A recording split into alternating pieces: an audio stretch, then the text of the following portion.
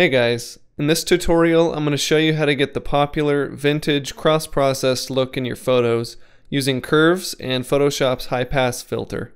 The cross-processed look comes from an old photography technique where you develop film in the wrong type of chemicals which created color shifts and changes in contrast.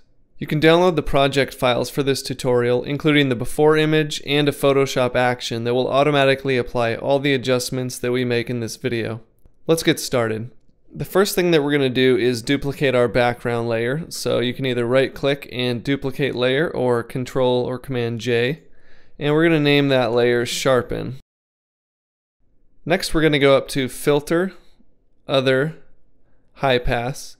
And the high pass filter analyzes the high contrast areas in your image and depending on the size of the radius that you set, it can sharpen the edges of your photo or give it kind of a simulated HDR look. So we're going to set the radius somewhere between 12 and 15. If you set it too big, you'll notice that you start to get kind of a halo effect around the high contrast areas of your image. And if you set it too low, then it gives you a more traditional sharpening effect. So we're going to go up to about 15 or so, maybe a little less, and hit OK. Now we're going to set the blend mode of the sharpen layer that we just created to hard light or overlay.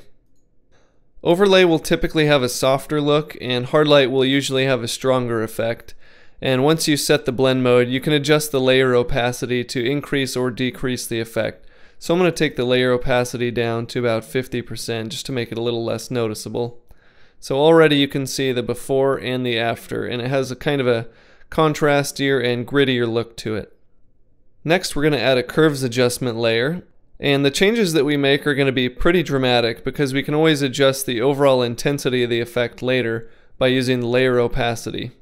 So first we're going to increase the overall contrast of the image by adding a slight S-curve on all three channels and that's represented by this white line. So we're going to take the highlights up a bit and we're going to take the shadows down a bit. Next we're going to switch to the red channel and give it a somewhat dramatic S-curve. So we're going to bring the red highlights up and take the red shadows down. Then we're going to move to our green channel and give it a very slight S-curve, just barely noticeable. So again, green highlights up, green shadows down. And lastly, we're going to go to our blue channel and give it a pretty dramatic reverse S-curve. So it's just the opposite of what we did before. So we're going to take the highlights down a bit and bring the shadows up a bit.